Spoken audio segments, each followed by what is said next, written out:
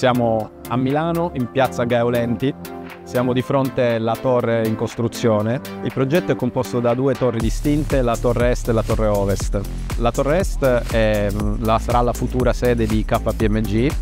è composto da 23 piani fuori terra e 4 piani interrati, mentre la torre ovest è composta da 14 piani fuori terra e 3 piani interrati un po' più piccolina rispetto alla sorella maggiore che è molto più imponente. Eh, insieme le due torri sono le, i portali definiti di Melchiorre Gioia, infatti il, il progetto si chiama I Portali Gioia 20. Il progetto è un progetto molto sfidante perché è inserito in un contesto urbano molto antropizzato e molto difficile. Tra l'altro l'area è molto mh, ristretta per un edificio di questa importanza e la logistica in, questo, in questi termini è davvero complessa e di difficile gestione e su questo con Ulma abbiamo fatto un gran lavoro di collaborazione e di, e di logistica importante. Ulma in questo cantiere ci ha fornito tutta l'attrezzatura di carpenteria,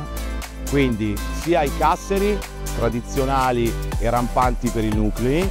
tutta l'attrezzatura legata al banchinaggio dei solai e tutta l'attrezzatura relativa al windshield che abbiamo montato per la protezione dei solai. Chiaramente la logistica qui che è particolarmente complicata,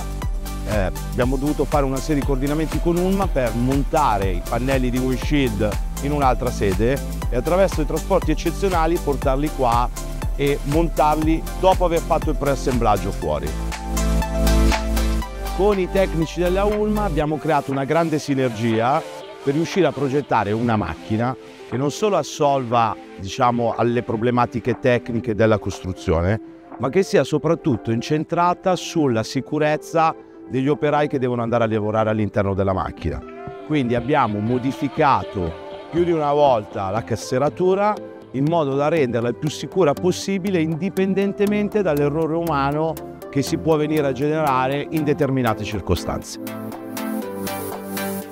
Abbiamo avuto dei momenti, soprattutto alla fine, dove ci sono state diverse modifiche da affrontare e quindi tra riunioni piuttosto che comunque momenti in cui il problema si verificava e si scopriva a livello fisico proprio il momento del, del rampaggio, la domanda e risposta era, era sempre molto veloce. Il rapporto con l'ufficio tecnico per la risoluzione dei problemi giornalieri è molto efficiente perché a problematica la risposta avviene in tempi brevi.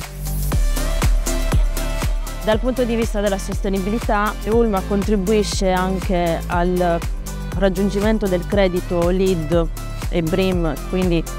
eh, certificazioni di un'alta um, valenza eh, per quanto riguarda la sostenibilità ambientale, essendo che le strutture impiegano eh, materiali riciclati sia nelle parti in acciaio che nelle parti in legno.